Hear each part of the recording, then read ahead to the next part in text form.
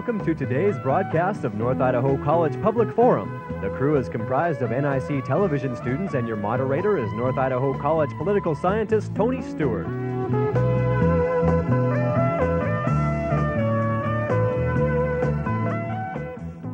Today, our subject is firearms and their safety. We have read recently uh, about a number of cases here in the Pacific Northwest where there have been tragedies with children, for example, getting a hold of firearms and one child shooting another one. Uh, it's very important in how we deal with that safety issue, and we have a very qualified guest to help parents uh, deal with firearms and to engage in sports and so forth, but also to protect uh, family members. Our guest is Robert B. Smith, who is employed with the Spokane Fire Department, and he presently is assigned to the Paramedic Squad 10. Our guest has a two-year certificate on fire science technology. He is uh, registered with the National Registry and Washington State Certified Paramedic. For the National Rifle Association, he is certified as Defense Pistol Instructor, and he's also a graduate of the Lethal Force Institute Advanced Lethal Threat Management. Bob, I've known you for some time, and we're very happy to finally be able to do a program, and I know we can help our citizens with um, the use of safety and uh, firearms, and also there are people who don't know how to use firearms that want to learn, and I know you're very involved in that. My very first question to you mm-hmm. is, although I've given some of the background, would you share with the viewers uh, what all you do in working with firearms and some of the organizations that you're involved with? I know you have a club here in North mm -hmm. Idaho. I'd be happy to, Tony. It's uh, my pleasure to be here, not just on the show, but it's always uh, a bonus, I think, to be able to uh, share on as broad a forum as possible safety issues such as this. Uh, uh, my background, in addition to being a paramedic uh, with the fire department, uh, I've been involved in emergency services for 20 years. Uh, that includes civilian works as far as firearms training. I also work with police officers, security officers, that type of thing. Uh, in addition to uh, the department, I have my own company that uh, deals specifically in training civilians and uh, police officers in what we call countervailing use of deadly force. That is defensive application of firearms. Uh, I'm also director of a nonprofit corporation uh, here in Coeur d'Alene called Fernan Rod and Gun Club. And the main thrust of that organization is an educational basis and providing a safe facility for people to go out and use their firearms in a uh, safe and responsible manner. I, I, know that you have both classes and you also work with individuals. I mean, you could work in a lot of different uh, combinations. Absolutely. Uh, in addition to, uh, my goal as an instructor was to try and reach as many people as possible with this type of training.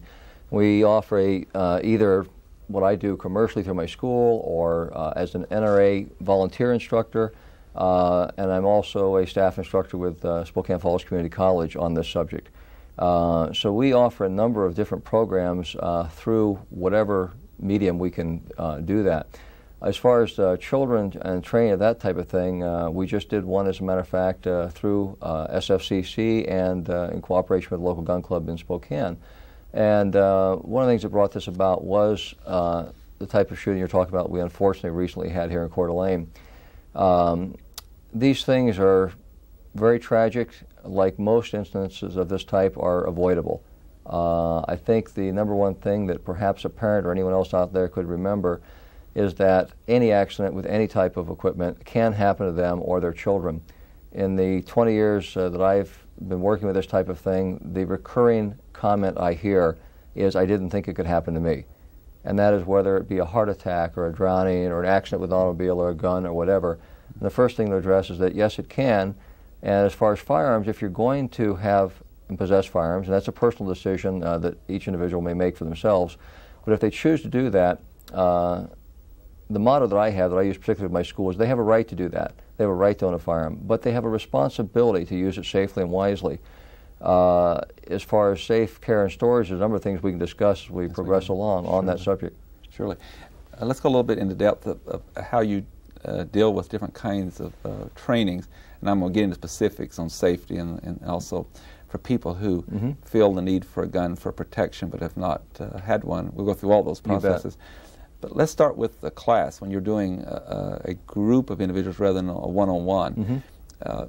do you have different kind of classes, or, or do you just have a, one basic kind of course? No, actually, we have a variety of classes, Tony. Um, in my school, we offer two levels of training: uh, what I consider a basic and an intermediate training. And uh, from that context, those classes are geared specifically for defensive application of firearms, uh, most commonly handguns. Uh, that's what uh, most uh, civilians and the average police officer is using as their defensive uh, uh, firearm.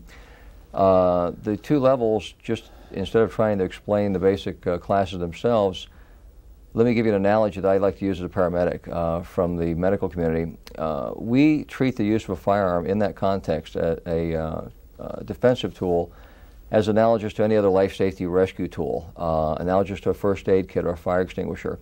Uh, it's designed not to necessarily make you one of those professionals in the civilian context, but to hold the line until the professionals can arrive.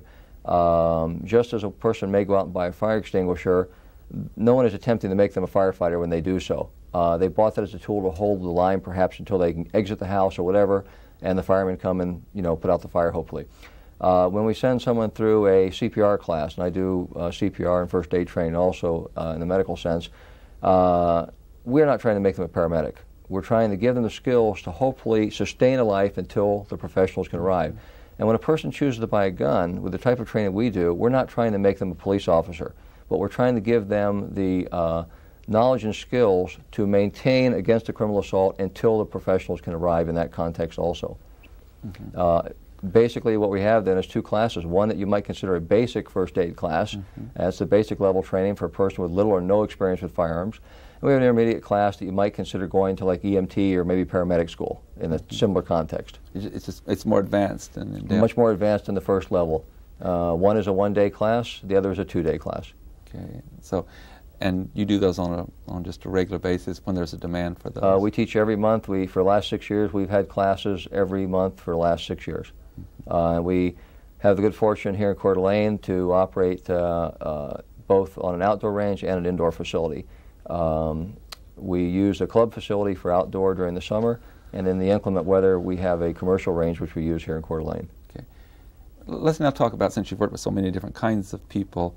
Uh, how you do it when you're doing instead of a class, you're mm-hmm. doing it with an individual. Are you trying to meet that particular in, individual's level of need or experience? What we'll do with that, and invariably, what I have when I do an individual class, uh, all of our students, of course, because of the nature of the training, uh, there's strict confidentiality as far as the, the clients go. Uh, they're very security conscious people, and many of them, due to the nature of their positions in the community, whatnot, would not like advertised um, that they choose to have a gun around the house or perhaps even carry one. Mm-hmm. And of course, all these citizens are doing so lawfully uh, with the proper permits and whatnot that we train.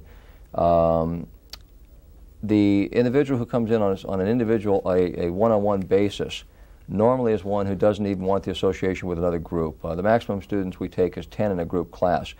Some of our uh, students have chosen, because of confidentiality and privacy, to take one-on-one training uh, simply for keeping it basically uh, on a low key. Uh, we have a large amount of professional people, uh, physicians, attorneys, those type of individuals taking classes, as well as the average housewife or just couple that wanted you know that same type of training. Mm-hmm. Just depends kind of on the individual what they so desire. Yes.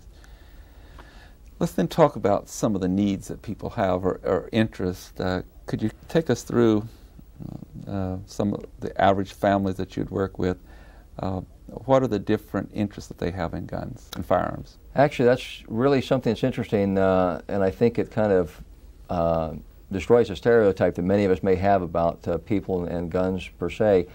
Uh, there really isn't any set type individual. Uh, in the six years we've been training, and that includes, you know, privately through the school, through the community college, through the gun clubs, whatnot, as a volunteer instructor, uh, we have a, a people from about every walk of life and every background you could imagine. I've had people through the training, for instance, like we recently did for the children, uh, who the parents did not even own guns. They did not even possess guns in their homes. But they came to the class to get the education and training so that if, in fact, their child came up against one, perhaps in a neighbor's home or something of that nature, their children would know how to deal with it. Um, so we've gone from people who would, would be what you consider uh, perhaps gun enthusiasts or the classic quote unquote gun nut, the person has a large collection or whatnot, uh, to actually people who have not even uh, or have no interest in even owning a firearm but just wish to be informed about them. Mm-hmm. we've spent a lot of time around the program talking about firearms in relation to protecting oneself or Mhm. having safety in the home. But I know that there are people who have guns that they collect, uh, just a hobby with them, and they have some very expensive collections. Mhm. I also th- know that there would be some that would be involved in sports. They have, you know, shooting clubs, contests, and, and of course there are people that are hunters and Mhm. all. Can you just kind of take us through a little more in-depth uh, interest that those individuals have? Sure. Uh, there's a cross section again, as you mentioned there. You have folks that are just collectors, and uh, matter of fact, some of these people collect guns as uh, an art object or a, an investment type of thing. Some of these guns are never even fired; they remain in a box or a display case or something. And from the day they came from, uh, not in this case, not usually a factory, but it's originally a, a factory gun, which has been, uh, you know, uh, engraved or modified in some manner artistically. These guns are never even fired. It would destroy the collector value of them. You have uh, collectors who just enjoy going out and shooting, and that may be a family, may be uh, either member of the uh, husband, wife, or whatnot. Um, you have the hunting enthusiast. Um, we're trying uh, either through directly through my school or through our club to reach all these people as far as uh, the safety issues. Uh, one of the things, for instance, that uh, we've been involved with the club with these people is to offer some place they can safely shoot and offer training up there so that we don't have repeats of accidents such as we had last year uh, uh, here in Idaho with a couple mistaken for a bear. Uh, the young um, girl that was recently shot, uh, hopefully we can avoid those type of things. I, you know, I must be completely frank. These things will never stop any more than drownings or heart attacks or other things will, will stop. Um, I talked to another uh, show right after the incident with the little girl that was shot, and they asked me a, a question on that. Well, can we ever stop this completely? And I said we can reduce it, minimize it through education, but in fact, it will not stop. Just and I gave an example of drowning, for instance. And four hours later, I was on duty that day. Four hours after that uh, taping, I was on a drowning, pulling out a you know a young man out of the river who I'm sure did not go to the river expecting to drown either. It's tragic. We'll never stop all these things, but we certainly can minimize them. And firearms deaths, specifically, uh, particularly accidental, have been on a decline since the 60s. And part of that's because of the training on safety. And Absolutely. Probably, uh, you know, the, the, a number of groups are responsible. There's private individuals like myself, but probably I'd say one of the uh, premier groups has been the National Rifle Association's training programs with their volunteer instructors, of, of which I'm also one. Um, in between the hunter programs, uh, safety programs for children, uh, law enforcement training, they're one of the premier groups, and we really feel that that educational aspect has uh, reduced all types of shooting accidents uh, significantly over the years. I want to spend some time on the safety question Mhm. uh, because you certainly are qualified in that area. We hear uh, uh, almost every year during the hunting season. Of course, that's a l- very large area that's covered, and a lot of people are out there. It's like the more people are in automobiles, the more likely there's to be an accident. Absolutely. And I understand that.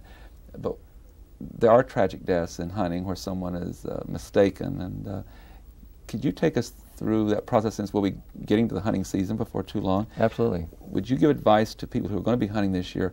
How could they prevent that kind of tragedy? What are some of the tips that you would give them? You bet. I think the number one thing, and um, and this is some of the things that we're going to be offering through our club up here, uh, in conjunction with the uh, Idaho Fish and Game Department on hunter safety programs, uh, who would probably be in this state the premier organization for training people on, the hunter safety program. I would say some of the number one tips, Tony, is to be familiar with the firearm they're using, to absolutely identify their target. And by being proficient, I mean they should be going to a range, not leave the gun in the closet. It comes out once a year to go hunting. They don't even fire it until they get out of field. That gun should be taken out to uh, a range somewhere and practice with so that the hunter feels competent and proficient with it. Uh, the number one thing, once, just like on the range, once he's a field, he must absolutely identify any target he expects to Never shoot at. shooting at anything moving that he can't Absolutely. identify. No, no uh, sound shots, brush shots, this type of nonsense is totally irresponsible. Matter of fact, in my opinion, it's criminally irresponsible. Um, the person that goes out must, when he's carrying a firearm, always uh, exert what we call muzzle control. He must always know where the barrel the business end of that gun is pointed. His finger should be outside the trigger guard. I'm not happy with just off the trigger. I believe it should be outside the trigger guard until the time that he has identified the target, in this case a game animal or whatnot. He's identified the target, he's made sure he can make the shot, and the finger should not get inside the trigger guard until he is on target and ready to fire. And he is aware of not just his backstop, In other words, where the bullet may go if he misses or perhaps pass through the deer or whatnot. But in addition to that, what is around him? Uh, in other words, do not be so excited and so intent on the deer that you don't see a fellow hunter or another person pass in front of you. So it's not just where your bullet may go, but what is between you and the target as well. If a person exercises those safety concerns, uh, at the very least, if he does mess up, we may hopefully have minimal property damage, but no bodily injury or death. Mm-hmm. Also, uh, clothing is very important. I know there's been mm-hmm. a lot of emphasis on how you should dress when mm-hmm. you're hunting. Uh, there's a variety of different studies on that, and um, there one thing that's going on in different states is the hunter orange uh, type of thing. Um, I'm be, I'll be honest with you, I'm not personally a proponent of that. Um, because I, I, will be honest with you, I used to have the attitude if they can't see me, they can't shoot me. That's a terrible thing to take, but uh, so I quite frankly used to wear camouflage as when I bow hunt. I wear it during the regular season, muzzle loading, whatever. But I'm, I'll be honest with you, I'm kind of coming to the conclusion that because we do have that element out there that makes the sound shots, and uh, I'm hesitant to even move or say hello to someone for fear of that. I think that can be educated. I'm a firm believer in educate versus regulate. Uh, so I hate to see things like that mandated. I would much rather see people come to the range and uh, be run through safety. And that includes a lot of us adults. It's not just anything for children. Uh, many of us never got the proper foundation as an adult, uh, or somewhere along the way we've forgotten it. But uh, as far as dress goes, that is one option, is to make yourself as visible to another hunter as possible. Also, uh, what's your recommendation on hunting alone or hunting in a group? I think, again, that depends to a large degree on the proficiency of the hunter. Um, quite honestly, I hunt mostly alone, uh, or perhaps with one other trusted individual that I am comfortable with hunting with. Um, I think it's a personal decision. Most importantly, uh, a person has to be honest with themselves. Uh, are they physically capable of doing so? Um, are they confident enough in the woods? And none of us likes to admit that we're not Daniel Boone. Okay, but the fact is, none of us today are. Okay, and there's no shame in going to a class or getting some training through like a hunter ed program or whatnot, or sharpening your skills through your local uh, muzzleloading club or your rifle club or your bow club. Uh, and then finding a companion to hunt with, whether it be a family member or something of that nature. Um, it's a personal decision, but you've got to temper it with reality. What can you, are you really capable of in the field? The other area that we want to talk about concerning safety, well, at least uh, uh one more, and might even get to a third area. Okay. And that has to do with children, and uh, parents often have to be gone, and the children are, are, at home, and there may or may not be a supervisor around, mm-hmm. but there are guns all around.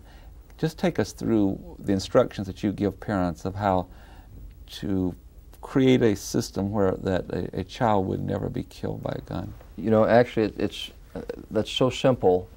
With the basic things we'll talk about, I hope you know, people will learn from this and enact these uh, basic safeguards. Uh, again, the first thing, realize that you know, leaving guns on around unsupervised uh, can lead to a tragedy, particularly if you have children around. Even if you do not, some other child may visit your home, whatever. The first thing you need to do is talk about securing the firearms. Um, in the in the sense of like long guns or hunting guns or whatnot, for the most part, those can be secured away, uh, unloaded, partially dismantled, with the parts kept separately, bolts or magazines separate, that type of thing. That's one option. Where we come into the, the problem, such as we had recently, is defensive firearms, uh, particularly handguns, uh, that most people keep f- for that purpose. Number one, unless that firearm is under direct supervision of an adult, it should not be left anywhere. It should not be loaded. Now, if it's going to be loaded, what I recommend is locking it in some manner. What my wife and I use is a lock box. It's a combination box. The guns go in there. All of my other firearms are secured. Uh, our daughter's grown and away and whatnot, but we have uh, company and, and children visit us and whatnot, relatives and all. All of our other guns, non-defensive guns, are basically secured in a vault. Okay. The only two that are left out, and this is an example I give to a couple uh, are the guns that we use from a defensive uh, standpoint. If they are not in our direct control, and that means if I go out in the backyard gardening or I go in to take a shower, that gun is put in a lockbox and secured, a combination lock. It's still loaded. If an emergency was to arise, uh, say in the middle of the night or whatnot, I can very rapidly access that firearm for defensive posture, yet at other times when it's unsupervised, it is not in reach of unauthorized hands, whether they be children or adult. Uh, there are a number of other options if a person doesn't go that route. They can buy locks uh, of a variety of manufacturers commercially available. Uh, even uh, a small combination lock or a key lock can be placed between the trigger and the trigger guard, behind the trigger, on most firearms. This will not work on all of them. And when it's locked, you now have a hasp impeding the movement of the trigger so the gun cannot be fired.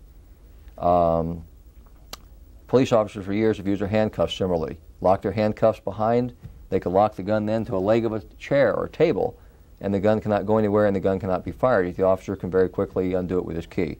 Um, that's a tip a person could use, either the lock or the cuffs, depending on their situation, uh, law enforcement or civilian. But in essence, they need to be kept uh, secured. If a person is going to have one home and be gone, traveling at work, whatnot, the gun should not be loaded. It will not jump up and defend their home while they're gone any more than the car will jump up and get a quart of milk for them by itself when it's gone. So, what purpose do you leave it loaded at home if you're not there in direct control of it? So, I'd highly recommend not leaving it loaded and the ammo stored away if that's going to be the scenario. Also, as children are growing up and uh, they're going to be following in the path of maybe like a son of his father hunting or mm-hmm. uh, both the son and daughter to be trained at some age about defense, particularly if they live in, a, in a, uh, an area where there has been a lot of crime. What do you recommend about training children in the safety of guns? When would you start that, and how long does that process take? I think that's a, to some degree a personal decision as far as the age to start. It depends on the individual child's maturity and their attention span and whatnot. The earlier, the better, in my opinion. And this is including for people who did not even own guns. The very first accident I was ever, uh, uh, or that prompted me to start training, Tony, was as years ago on an accidental shooting. And a young boy had gone to the house next door, got his grandfather's pistol, turned right out of the closet, goes, Here it is, to show his young friend who'd had no guns in his home, and shot him right in the mouth. Unfortunately, this kid survived. But uh, there was an example of this boy not recognizing that this is not good, acceptable behavior, and he could have left. A program right now that's being uh, implemented by the NRA uh, is uh, very similar to what we used to do with blasting caps years ago as a fireman in Florida. And that is if a child, and this is something you can train a child very easily, there is an age where we can start talking and rationalizing and educating. Prior to that, it's basically no, uh, don't touch. Their NRA's position on this with the Eddie Eagle program is if a child comes in the room or whatever, they come across a gun, it's don't touch, leave the area, tell an adult. And that's something I highly recommend. We used to do that years ago with blasting caps. Kids would come across blasting caps, it was don't touch, leave the area, tell a responsible adult, a policeman, a teacher, a fireman, you know, uh, a parent, whatever. Uh, I would recommend for the young children to educate them in that respect and not to touch and differentiate, uh, you know, between guns and toys and whatnot, and not to treat them as toys. As they get older, I would recommend taking them out to a range uh, as I mentioned, the group that I just did at the college in Spokane, some of those were non shooters, some of them were shooters. They went specifically to dispel the myths that their children may have been under. Um, in part, the example uh, a couple of the gentlemen talked about there was because of, for instance, uh, media influence today with like television and movies. We are unfortunately today educating our children, maybe not correctly, but they are watching the movies and the TVs where they all incorrect usage of guns. Pick up a gun, point someone, pull the trigger. We try and counter that with safe use of firearms, and I recommend they go to a training program of that nature. Let the kids go out and experience. Doesn't mean they may ever want to shoot a gun again. They may not even choose to. They may not like the noise. Who knows? But at least they come away with, wow, guns are not like TV. This will destroy. If used incorrectly, this will destroy. Uh, my sibling, my parent, my friend will not get up and be in the next episode like on TV. He will be gone forever. And unless we can instill that and take away this myth around the movies mm-hmm. portray, uh, we're going to continue to have accidents. So part of that training is uh, we, we, think when people are watching television and they're watching fiction that they realize it's fiction, but uh, there are people who don't, especially children. Absolutely. We had an incident not too long ago on, on, the squad. We got there, a young child hit with a hammer. When we got there, do you know why he'd been struck with a hammer? It was amazing. His little brother had seen on television, and it was a joking comedy type show. Uh, a la Three Stooges. It wasn't that particular thing, but he had seen another person strike another person in the head with a hammer. He went over, this is a younger boy, picked up the hammer, went over, and just drilled his brother in the head with a claw hammer. Now, fortunately, did not do serious injury. But when we asked him, why did you do that? Oh, I saw it on TV. Unfortunately, they see the same type of thing around firearms. Um, and we see that so commonly in my field as far as emergency services picking up uh, patients and whatnot. So unfortunately, we can't all differentiate on what's real and what's not, evidently. As crime has increased in this country, and it unfortunately has over the years, there have been more uh, statistics where there's been break into homes and robberies and murder and so forth. So I know there's an increasing number of people who have turned to firearms as protection in their home. In some of those cases, it's an individual who lives alone, and, mm-hmm. and, and the increased risk for that person is greater than if there's two or three people there to, to be more protective. And many of them, as they approach this concern, have never been around firearms in their life. And I know you're taken through this training process, mm-hmm.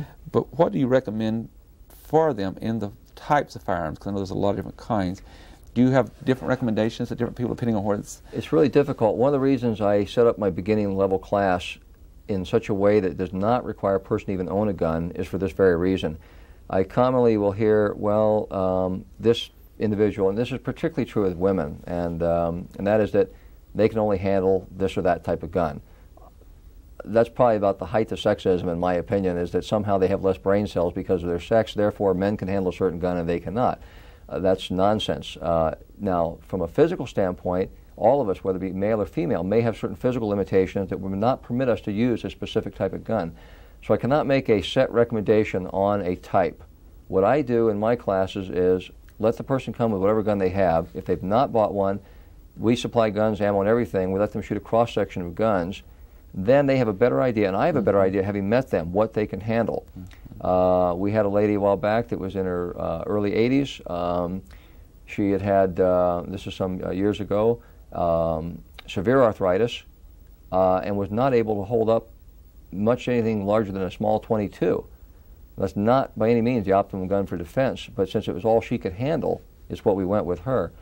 Um, to give you a blank, a, a pat answer, Tony, as far as sure. a, yay or nay on one another, it's really difficult because we're all so different. It's like saying uh, what size of shoe. Sure. Um, from a simplicity standpoint, for many people, a revolver is the most simple. A auto, uh, semi-auto pistol is more complex, but quite often is easier to shoot for many people. Uh, each will require training and discipline, just as it took a person to learn to drive a car. Well, that, that's true in all fields. Uh, in the field of tennis, we do not recommend a tennis racket to see the size of the hand and how they play and, Absolutely. The, and the strength they have. So Absolutely. I wish we had more time. We're out of time. I have the signal that the program must come to conclusion. Bob, I want to thank you on behalf of our staff. My pleasure. This has been most informative, and you've been generous with your time. Oh, thank you. I'm happy to be here. Ladies and gentlemen, we hope you've enjoyed our program. I'm sure you have, and we'd like to invite you to be with us again next week at the same time when we will discuss what we believe to be a very important subject. Until then, please have a good week.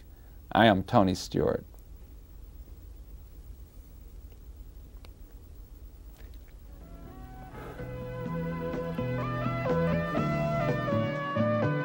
North Idaho College Public Forum can be seen at the same time each week over this station. This production was videotaped earlier by an NIC student crew for viewing at this more appropriate time.